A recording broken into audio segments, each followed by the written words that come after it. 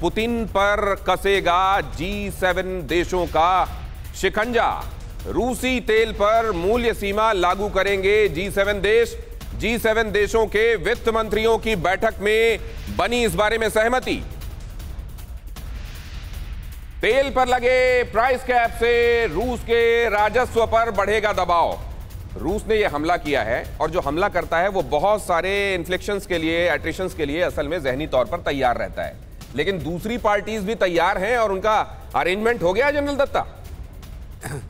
देखिए, ऐसा है कि जो कैप की बात की जा रही है जी सेवन के माध्यम से ये अक्टूबर के महीने में इनका ये जो इनका एक मीटिंग शेड्यूल किया है, जिसके अंदर कि यूके का जो नेक्स्ट पीएम बनेगा, उसको भी इनवाइट करेंगे।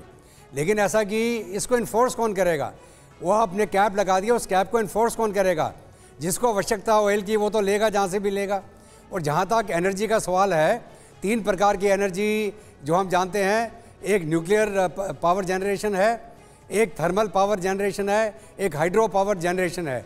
और जो, चौथा जो इसका एनर्जी का माध्यम है, गैस एंड ऑयल। तो अभी अगर gas and oil Russia tight करता है तो अभी यूरोप के पास विकल्प क्या है?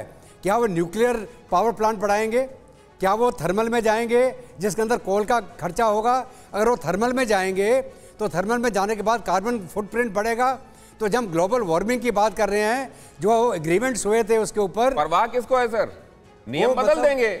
हाँ, वही तो नियम बनाने वाले हैं। अब आने हाँ। वाले दिनों में नियम बदल देंगे। कोल एक्चुअली सर कितना वहाँ प्रोड्यूस किया जा रहा था अभी कितना प्रोड्यूस हो रहा था और अभी क्या स्थिति है मैं आपको बताऊँगा आगे ग्राफिक्स में इसको बताने वाला हूँ इलेबोरेशन में। लेकिन महेश सचदेवा सर मैं ये समझना चाहता हूँ क्या ठंड के अपनी पीक में पहुँचने से पहले पहले यूरोप के लिए गर्मी का इंतज़ाम हो जाएगा? या रूस जानता है कि ये सबसे कमज़ोर कड़ी है और इसको सबसे कमज़ोर नस है और इसको दबा के रखेगा देखिए नोट वन का जो ये ये महेश सचदेवा सर से सवाल से। जी आ, ये बहुत महत्वपूर्ण सवाल है क्योंकि आ, एक तरह से विंटर शुरू हो गई है यूरोप में और ऑटम के बाद जो मौसम वहाँ आता है उसमें हीटिंग की ज़रूरत होती है। लेकिन इस बारे में थोड़ा सा आ, संकट जो है उसको उसको परिप्रेक्ष्य में देखने की ज़रूरत है। उसमें मैं ये कहना चाहूँगा कि आ, कई एनर्जी इंटेंसिव प्लांट्स हैं जैसे फर्टिलाइज़र है पावर जनरेशन है। इनको इनकी खपत में कमी करके हीटिंग के लिए इनका गैस का इस्तेमाल सुनिश्चित किया जा सकता है।